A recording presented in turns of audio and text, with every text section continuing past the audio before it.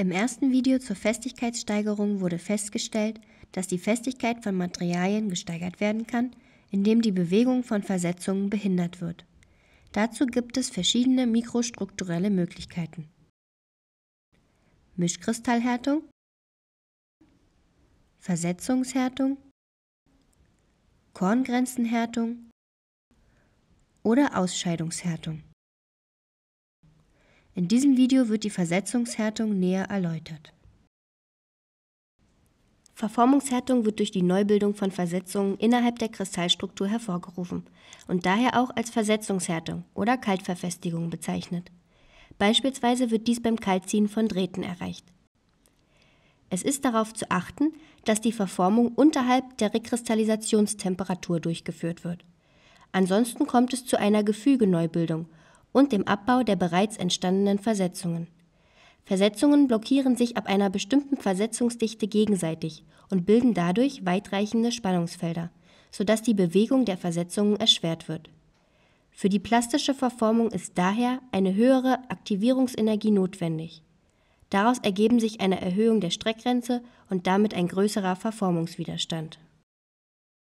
Die Festigkeitssteigerung ist abhängig von der Anzahl der Versetzungen. Es gilt, dass die Spannungserhöhung mit der Wurzel der Versetzungszahl ansteigt. Man muss jedoch beachten, dass eine Kaltverfestigung nicht beliebig oft an einem Bauteil erfolgen kann.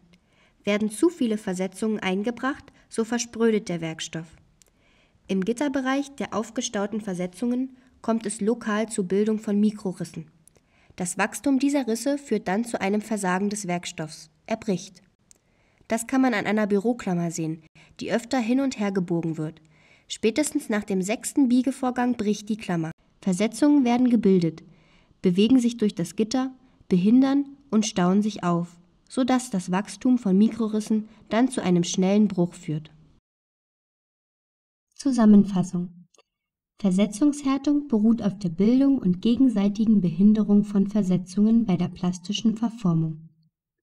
Je mehr Versetzungen sich in einem Werkstoff befinden und je größer die dadurch erzeugten Spannungsfelder im Gitter werden, desto stärker werden die Versetzungsbewegungen behindert und umso größer wird die Festigkeit.